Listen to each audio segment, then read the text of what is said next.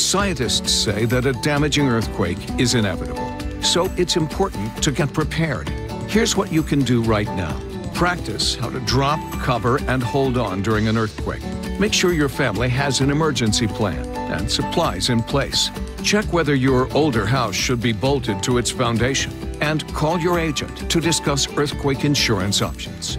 For tips on earthquake recovery, go to kpix.com. We're here to help. At Papa Murphy's, the only thing scarier than ghosts, ghouls, and goblins is celebrating Halloween without a Jacko pizza. Right now, you can get a large Jacko pizza for just $9. We make it, you bake it, Papa Murphy's. Whether it's a broken spring, door off the track, simple maintenance, or you're in need of a new door, there's just one call you need to make. Precision Garage Door. Make the right decision. Call Precision, a diamond certified company. Call today through Wednesday for a free service call with your repair. Project Home, continuing Monday at 11 on KPIX 5. Live from the CBS Bay Area studios, this is KPIX 5 News. Now at 5, breaking news mass evacuations in Sonoma County. 50,000 people now forced to flee their homes as the wind threatens to make this destructive wildfire even worse. We want you to start evacuating now. In my career here at the Sheriff's Office, this is the largest evacuation that we've conducted. As the fire danger grows, the biggest public safety power shutoff this year is just getting underway. How many PG&E customers will be left in the dark?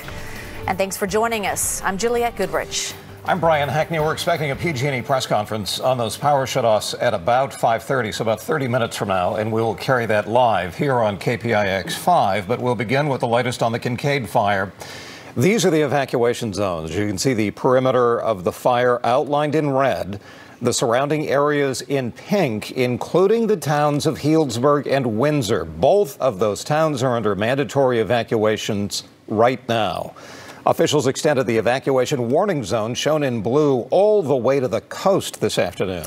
Now, let's take a live look from Chopper 5 at the fire in Sonoma County. It has burned over 25,000 acres so far, and that is about half the size of Oakland.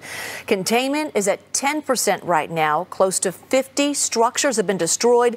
More than 23,000 other structures are threatened, and now all hands are on deck for this fire. Officials saying there are about 1,300 firefighters on the ground. We've got team coverage on the firefight and the dangerous wind forecast. We will begin with KPIX 5's Katie Nielsen. She's live in downtown Healdsburg. Katie, you are actually in the evacuation zone, is that right? We are right now. So we're actually on the square right in downtown Healdsburg.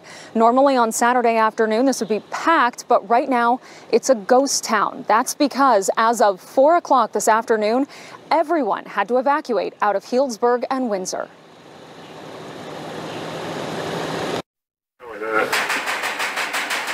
Sheriff's Office.